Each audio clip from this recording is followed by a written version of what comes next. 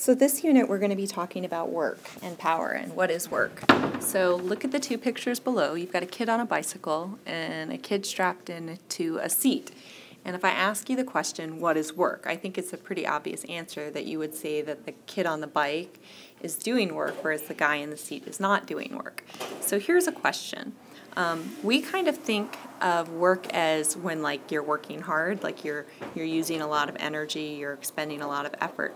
So what if we had me and I come in and I walk across the floor and I push on a brick wall. I push hard, hard, hard on the brick wall, push hard on the brick wall, and I'll push on that brick wall for like 20 minutes as hard as I can. Is the brick wall going to do anything?